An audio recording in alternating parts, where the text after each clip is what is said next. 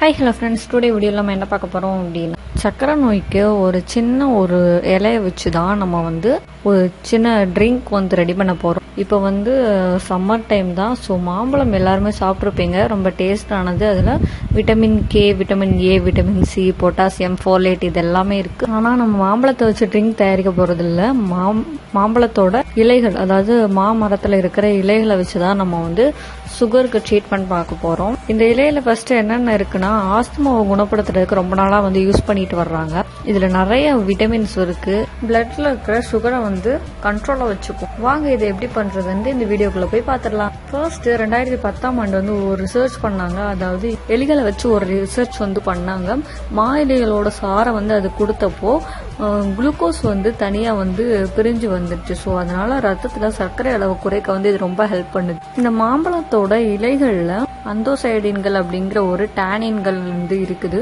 இது வந்து ஸ்டார்டிங் ஸ்டேஜில் இருக்கிற சர்க்கரை நோய்க்கு ரொம்ப ஹெல்ப் பண்ணும். இன்னும் வேற என்னென்ன பெனிஃபிட்ஸ்லாம் மா இலைகளில் இருக்குது அப்படின்னா விட்டமின் சி ஃபைபர் பெக்டின் இந்த மாதிரி நிறைய ஊட்டச்சத்துக்கள் வந்து இருக்கு. நம்ம பாடியில் இருக்கிற கெட்ட கொழுப்பை கண்டிப்பாக இது கண்ட்ரோல் பண்ணும். கெட்ட கொழுப்போட அளவை வந்து குறைக்கிறதுனால இன்னும் நிறைய நோய்கள்லேருந்து நம்மளை காப்பாற்றும் அது மட்டும் இல்லாமல் உங்களோட ரத்த நாளத்தை ரொம்பவே ஸ்ட்ராங் பண்ணும். நரம்பு பிரச்சனைகள் இருந்து அவங்க கூட நீங்கள் சாப்பிடலாம். நரம்பு பிரச்சனை இருக்கிறவங்களுக்கும் இந்த மா இலைகள் வந்து ரொம்ப ஹெல்ப் பண்ணுது. யூரின் ப்ராப்ளம் இருந்தாலும் அவங்களுக்கும் இது ரொம்ப ஹெல்ப் பண்ணும். இது எப்படி பண்ணலாம் அப்படின்னு பார்க்கலாம். இந்த ட்ரிங்க் நம்ம ரெடி பண்ணுறது ரொம்ப ரொம்ப ஈஸி நம்ம பண்ண வேண்டியது என்னென்னா ஒரு பதினஞ்சு மா இலைகளை வந்து எடுத்துட்டு ஒரு இரநூத்தம்பது மில்லி லிட்டர் தண்ணியில் வந்து நல்லா கொதிக்க வைக்கணும்.